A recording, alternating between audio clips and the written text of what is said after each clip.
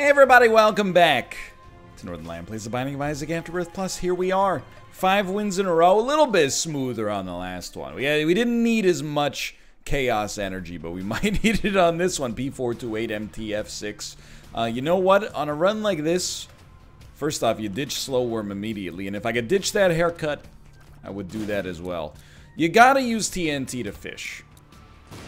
It's just science. That room, let me give it to you straight. If you don't have ice in your veins, don't go to that room. Even with ice in your veins, you, might wish to stay away from this room. I'll just level with you on that one. There's a, a more than modest degree of spice involved with this, but these guys are not particularly quick. Can I say a big shout out to Sad Onion? Without Sad Onion, we would, uh, I mean, even with Sad Onion, we're only at 9 rate of fire. We're not exactly crushing it in that department, but, I mean, it could be worse. We could be at, you know, 15, maybe, is where we'd be. I don't think we really want to go hard on the TNT there, and uh, also pick up the fly that explodes everything, including yourself. I think we want to play it a little cooler here. We're gonna, you know it's a little spiced when I'm taking the time to shoot the fires. Love to roll a D100. Hope we get a natural 100. Get a spirit heart out of it. I mean, it's not... Good work, good work. That You got in and out as quickly as you needed there. It's not that scary of a situation. Now, it doesn't get any scarier, but it's not that scary. You know, there's not... This stage of the game, not too many enemies that'll kill us in one hit. Might as well try to... That's going to be a little low, I think. Never mind, just... Uh, Rolling that D100 once more. Hmm. Probably, I think it's a bad idea to step on that, kill ourselves, and lose the entire streak. Not a, not a high priority play.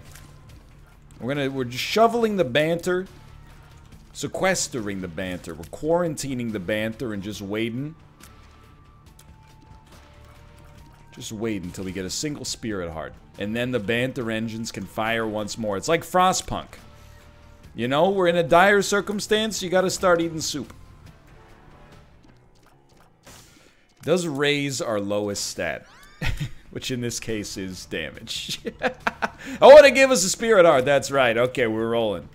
I always, don't get me wrong, I, I, I mean, in hindsight, I can't really say it, you know, in foresight, obviously, but in hindsight, Frostpunk is probably one of my favorite games of 2018, and certainly um, one of my favorite games that I've played so far in 2020. I think we got one, maybe. I always thought, I, I get why, I guess. You know, I mean, it's just, games are just abstracted, you know, experiences, right? So, you know, it's not that people in real life, I, I, and I, I'm doing a bad job of explaining this, but I oftentimes find myself taking this position. Let me think about this for a sec. Let me think about this for a sec. Okay, let's go. I was gonna say the one time you don't really want a uh, a black market. Okay, pop pop this first. Berkano. Perthro, Hagalaz, Algiz. We're gonna take Perthro, but something to be said about Hagalaz and of course Algiz. We should use Perthro on this floor.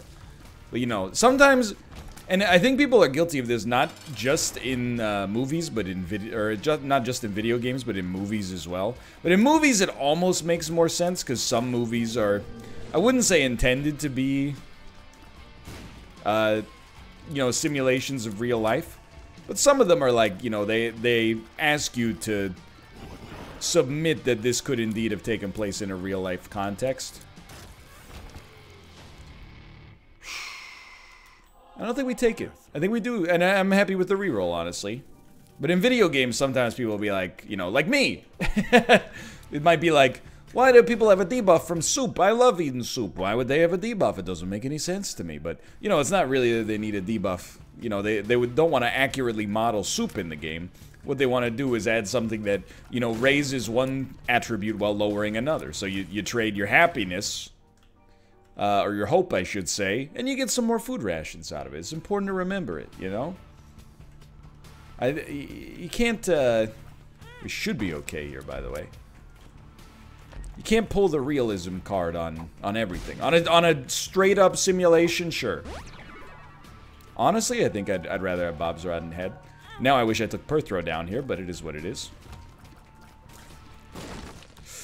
That hurts. Feel like, uh, and I don't think anything's changed except maybe my own observations, but I feel like we've had an awful lot of golden chests coming out of Tinted Rocks lately.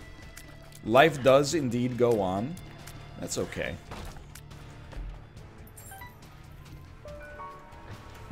Like one of the, ooh, just pop it. One of the things that gets me is I, I really like this director, um, Yorgos Lanthimos, whose name I finally started pronouncing correctly. Um, he, he's a Greek director. He's done his most famous work is definitely The Favorite with Rachel Weisz and uh, Emma Stone, uh, Olivia Colman. Those are the big names in that one. Um, help. But he also did The Lobster and the, the Killing of a Sacred Deer, both with Colin Farrell, who I always try to call Colin Farrell until my brain stops me. One of the number one criticisms in, in those movies, not so much The Favorite, but definitely in The Lobster and the, the Killing of a Sacred Deer, uh, which admittedly I've only seen bits and pieces of, but I should see it because I just described him as one of my favorite directors. But I love the lobster in the favorite enough, okay? Yo, that's a huge get. Um, but in in the lobster, nobody talks like a human being. They all talk like weird robots. And the one criticism I've heard of people, or heard people levy, is like, well, nobody talks like that in real life, so how am I supposed to put myself in the shoes of being in the movie? It's like, it's unbelievable.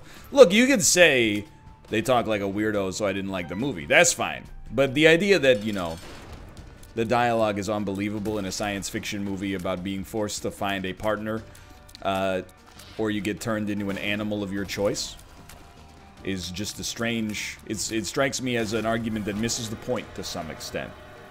You know, if the if the dialogue and it, and its unique nature, ooh baby, serve the tone and the message of the movie, which is perhaps that you know we live in an overly sterile world, world to begin with that's why everybody speaks to one another in purely objective sentences with no nuance behind them.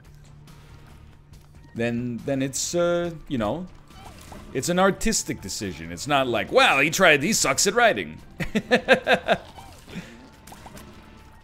not that artistic decisions can't be bad, but you know what I mean. I'm just saying it's, I don't like it versus it's objectively bad. Is is what I like. That's that's my preferred method of criticism, at least. Let's see what we got in here. Pyromaniac. Yeah, it's not bad.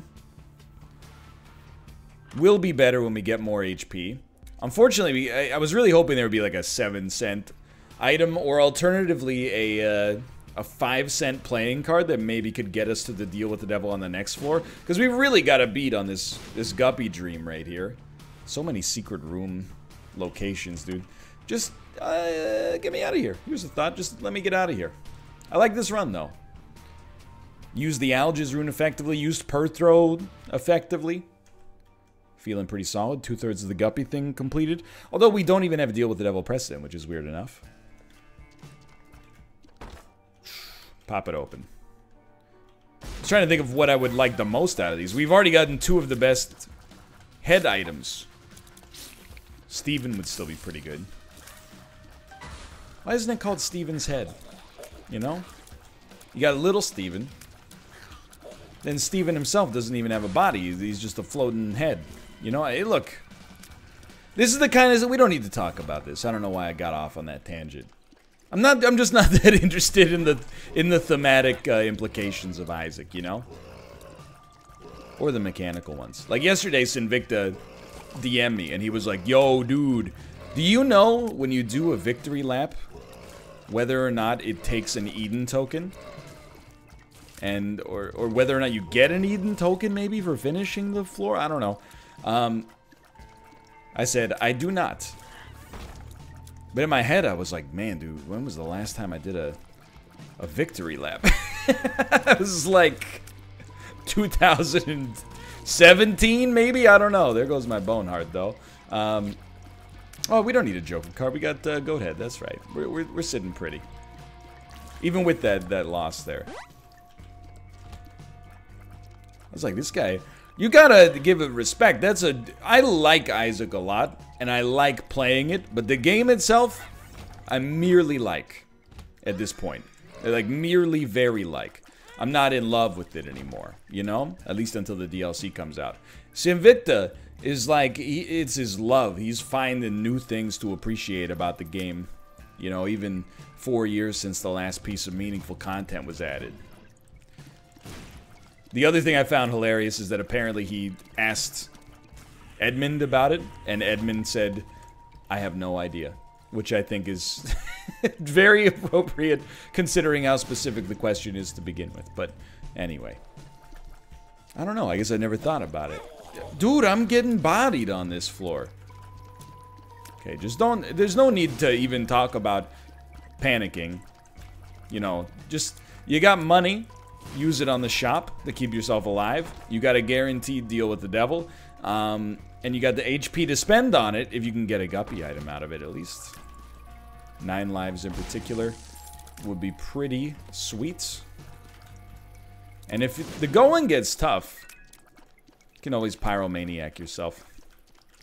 I'm realizing as well, like, it, what's been like my number one complaint on a couple of these runs? Low damage. What's the unifying theme of those runs? We're Eden. I think it's just something you gotta accept uh, as random. It happens, but it probably happens a little bit less. Because the characters are a little bit more balanced, honestly, and, and Eden, I hate to say it, sometimes you get overpowered starts, but I think in general Eden is balanced to be um, maybe not a degree of magnitude weaker than she should be, but I, I think that she's she's balanced uh, too harshly, in my opinion. But that's just my two cents. Who knows? Maybe it'll be ironic. Maybe we'll go on a 700 game winning streak. And then I'll be like, ah, it's too easy. Okay, maybe don't just stand there and let them hit you. That that would probably be my first point of uh, criticism for myself here. Turns out there is one more unifying element between all these runs. Me making uh, not so amazing mistakes. And then also low speed. Just throwing that one in there to keep it honest. Oh, baby! That is what you like to see. Might as well grab this. And if you don't mind, just don't hit me on the spikes is my it's my only ask. You gotta admit, pretty sneaky, sis. that was a solid play. To get the golden bomb, now I'm like, ah, I'm not even worried that my uh, DPS is kind of down in the dumps. Instead, we'll just press the E button on every single room we go into. Shouldn't be too bad. oh my god, that was... That was a deluge. Um, I don't think it's worth buying the coupon to save 15 cents. You know what I mean? Try this. Yeah, I mean, it could come in handy. Sure, I mean, blank card is, is better than Guppy's head. I hate to get rid of it, but it is it's the right play. I'm gonna miss the offense, but hopefully we'll find something even better to replace it with. Where did we get all this freaking money, dude? This is incredible. I'm having a wonderful run here. You are the worst! How dare you? That's okay. We got the 15 cents again. I don't really want any of that. Eh, I can live with this, but... Alright. This would be an amazing floor for a deal with the devil or angel. And you're, you're gonna think this is a big ask. But here's, I've learned, you know, the squeaky wheel gets the grease. Sometimes you ask for something, you think it's pie in the sky, there's no way you're gonna get it, and you get it. What if you give me either a guppy item, and this is gonna burn me up because we're gonna, oh no, we're not gonna see both. We're only gonna see one. Never mind. Not, no burning up, no Shawn Mendes happening here. Or is that, no, it's the Jonas Brothers.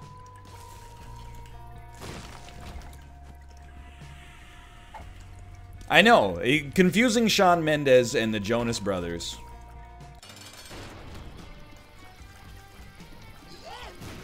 How could I possibly do that? Well, I'll give you one reason why. I'm 31.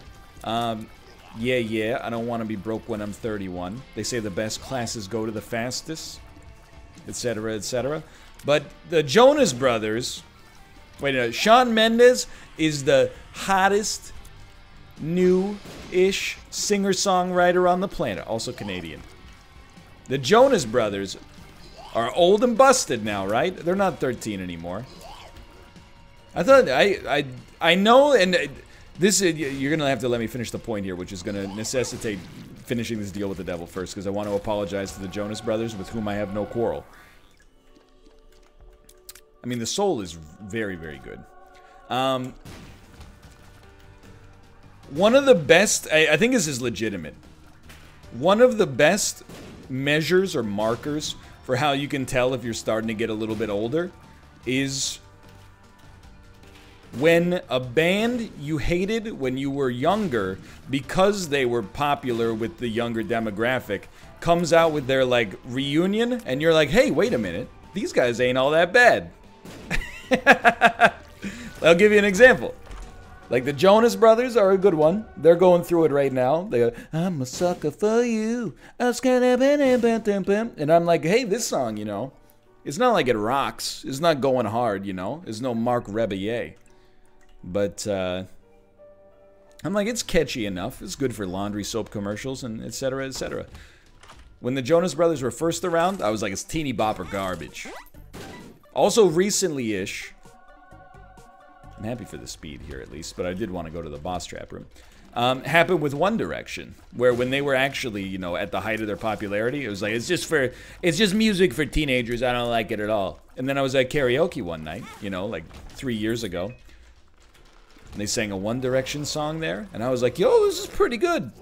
Story of my life, take her home. You know, Again, I wasn't like, this is the greatest song of all time, but I was like, I can see what people are talking about here. Wonder when it'll happen next. I'm trying to think of, uh, I mean, who are like the most popular artists in the world right now? Obviously, like Taylor Swift. Following that, um, Dan Deacon. That was a joke. Who doesn't like Dan Deacon, though? Gotta get this up there home, gotta get that home da. Do you know? You know Dan Deacon, Wham City? He's come out with a lot of stuff since then, but, you know, I'm kind of permanently locked in that, like, 2006 to 2010 corridor. I'm always surprised, like, people think I have, uh, I don't, I don't know if there's such a thing as good taste and bad taste, right? um, necessarily on an empirical level. But I'm always surprised when, you know, I, I talk about like some of the music I listen to, and then I talk about some of the music I like, and people are like, wow, NL actually has really good taste. And I'm like, yeah, I know. You think it's hard? You just read the right blogs, watch the right YouTubers, dummy. It's the easiest thing in the world. Wow, he likes Neutral Milk Hotel's into the aeroplane over the sea. And then people, whenever you say something like that, uh, they hit you with like, oh wow, what a what a slash mu core list. Like I get it, it's from 4chan. Freaking this that's not from Moo, dude. This is from freaking Pitchfork. Where do you think where do you think Moo got it from in the first place? That's this is old Pitchfork core. Just been circling around for 10 years. I see it now. I you know because uh, we look exactly the same according to people with no eyeballs. Sometimes I see tweets meant for Anthony Fantano, and they go like, hey, rate my favorite albums of all time. It's like the same favorite albums that every cool kid, myself included, had when we were 16, except now there's like four new albums on it, you know? There's like a Death Grips album. I'm not cynical about it, you know? They're good albums. There's like My Beautiful Dark Twisted Fantasy is on all of them now. That wasn't around when I was a teenager, but apart from that, yeah, I know. Oh wow, you like Hail to the Thief as well? That's crazy, dude. Who who would have thought your top 25 albums of all time has nine Radiohead albums on it? Anyway, that's not cynicism. If anything, you know, uh, it keeps us together. Like the opposite of a Joy Division song. Who? You almost got me there. We need this deal with the devil, dude. We, we need the damage now. I'll take a deal with the angel that gives us damage too. And don't get me wrong, like I said, very happy actually to have the soul. But yeah, you you might think you're getting older when you're like, F, the kids are listening to something that I'm not listening to anymore.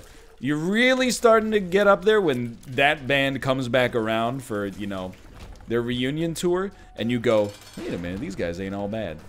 I remember it happened to my, uh, my mom and my uncle. I was watching Much Music, which is our version of MTV. it's named differently here. um, and a new Hanson song came on like four years after MMMBop came out, and it was a little bit more like moody and a little bit more like folky almost, like a little acoustic guitar accoutrement was involved. And they were both like, whoa, I never thought I'd say this by Hanson. This song's pretty good. Now, me, as a 13 year old, I knew everything, and I was like, actually, this song sucks. What actually rules is Papa Roach. Dummy.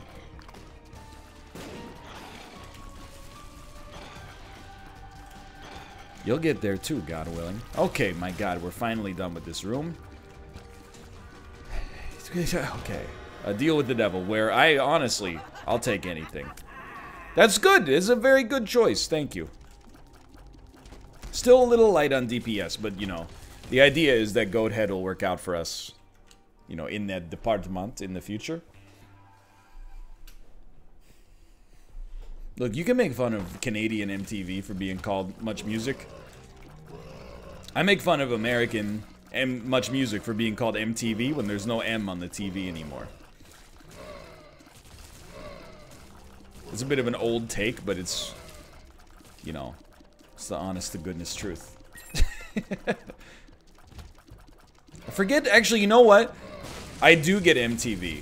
I know I get MTV because when my parents were here last time, I was scrolling through the channels, and Tosh.0 was on like a nine-hour marathon on M on uh, Much Music.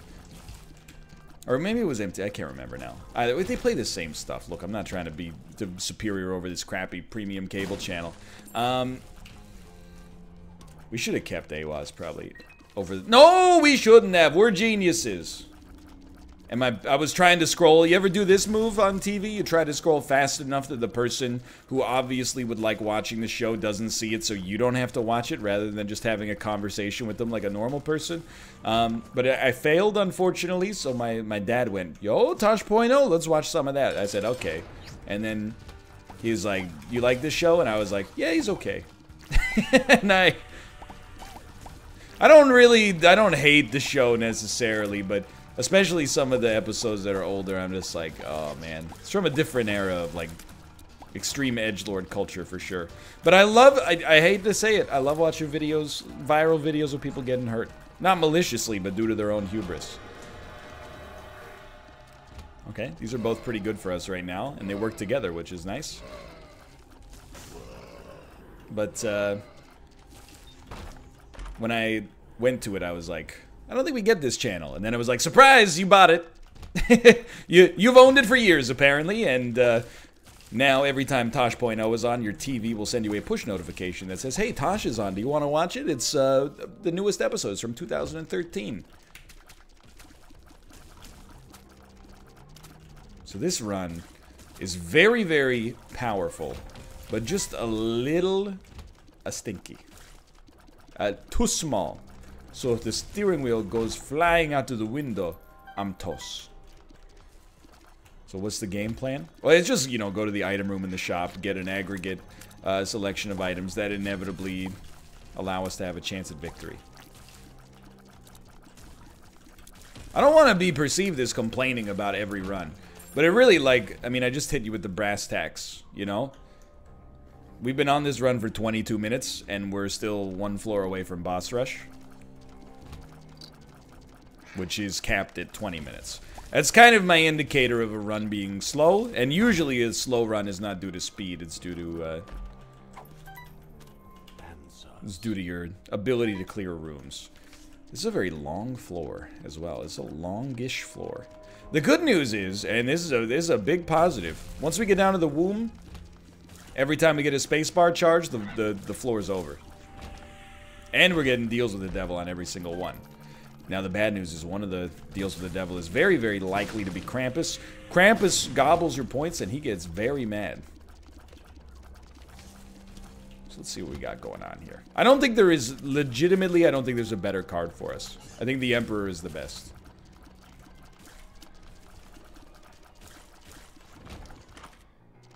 Okay, well there's a few better items than Brother Bobby, but that's okay. Look, the gang's all here, dude. They still releasing characters for Smash. I know uh, Byrgenwerth just came out. I, I saw a Smash tier list uh, the other day. It was like unrecognizable to me. Like, actually, legitimately, all of my favorite characters. I, I, didn't see Inkling, but all of my favorite characters from like a year and a half ago are down in the bottom tier. And then the top tier is exclusively uh, Star Fox and anime characters with swords.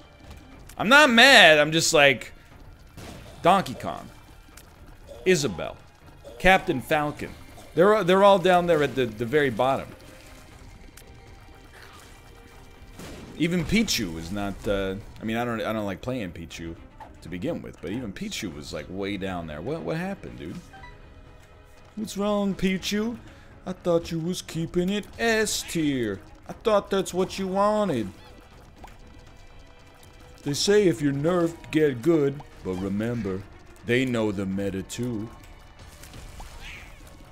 Now, baby, when I get you, get you, get you, get you, I'm a up tilt into forward throw, do a quick roll, frame cancel, wave dash, and spike you. That's good, but it's it it shouldn't have been, shouldn't have existed, but it is good. That's great execution on a on a pretty bad joke, which is on brand. Ah, yes, the Kendrick Lamar. But not the most recent album, the one from five years ago. Reference. Plus uh, Super Smash Brothers. Where I know just enough to say something that sounds meaningful to people who don't play the game, but if you play the game, you're like, what is he talking about? He thinks he could keep a combo going after he throws in a roll. that would just cancel out. Baby, when I'm riding, yeah, I'm riding dirty. Okay, let's finally kick this run into high gear. It's safe, it's stable. It's a 40-hour job with benefits. I don't want it. I'm quitting to become professional Byte superstar. Six seconds is all I need to get the world clapping.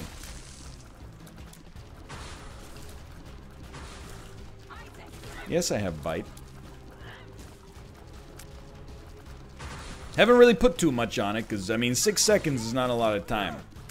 It's, it's hard to build a bid in six seconds. I know I've said this, this exact permutation of words before. Every once in a while, I'll, I'll, go on Byte and just be like, what's up? And it's almost exclusively just, uh, I mean, what do, what do you expect this six second joke is like? There's a lot of people getting hit in the nuts.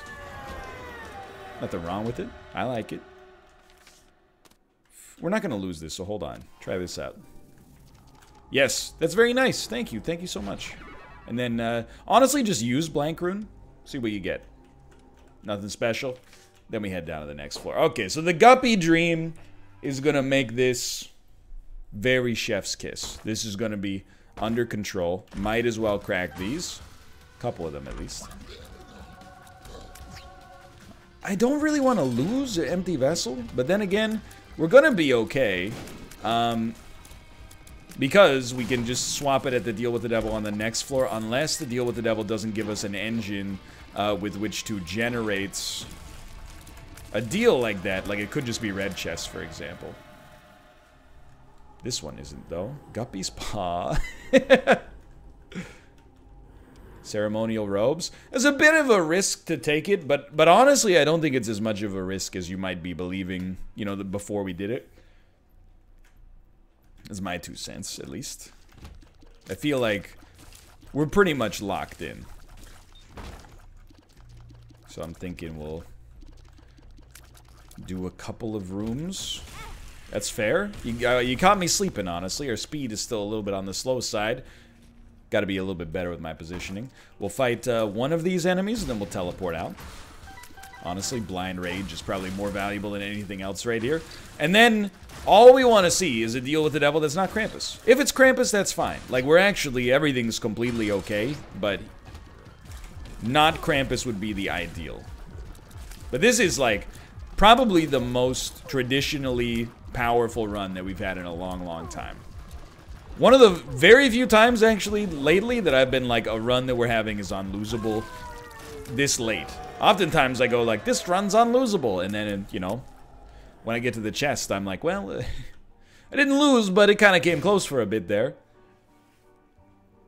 This one, we're holding it together quite nicely. So I'm not sure if you're aware of the, the protocol here. I'm thinking I'll do a couple of rooms, press the spacebar, fight the boss, press the uh, Q button, which is also known as a key on the keyboard, which is why they call it that in the first place. And then we'll probably be done with this run. Do not pick that up. I totally forgot we also have uh, Pyromaniac. Like, we got a lot of really good runs here. Or really good items. Goathead, especially, was like... Took us a while to really make it pop, but... Once we popped, the fun don't stop.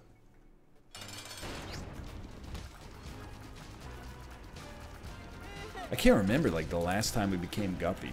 It's, I mean... Much like when people are like, I can't remember the last time I had last food, uh, had fast food. I don't know if I said a complete sentence there. Let me rephrase. Much like when people are like, I can't remember the last time I had fast food. And then when they really think about it, they're like, oh, last Tuesday. It was probably within the past two weeks. but I'm not certain. It, that's that's a relatively long time for Isaac. I feel like hopefully this is the the dawning of the age of Guppy. I can get down with that. And we're finally settling in a little bit after a lot of runs that were just not really that good for me. Due to maybe my own fault, I'll admit. Um, and these items, speaking of not really good for me, um, we're going to take Dead Sea Scrolls at least, and I, I think it was Kamikaze. Well, see you later. not a not a huge get on that one. Didn't hurt us though. That's what I want out of a spacebar item. When we press the spacebar once every two rooms, it does nothing effective, but does not hurt us. It's just fun to press the key. Alright, so we're slacking a little bit on shooting uh, Little Bumbo Jr. in there. I don't know, Bumbo, Gurdy, Gimpy, Turdy. There's so many different E's in this game. It's hard to keep them straight. I feel like I'm naming my grandkids wrong. For now, thanks for watching. Hope you guys have enjoyed the episode. If you did, click the like button. Helps out a great deal. Of course, subscribe if you want to see more in the future. For now, thanks for watching. I will see you next time. See ya!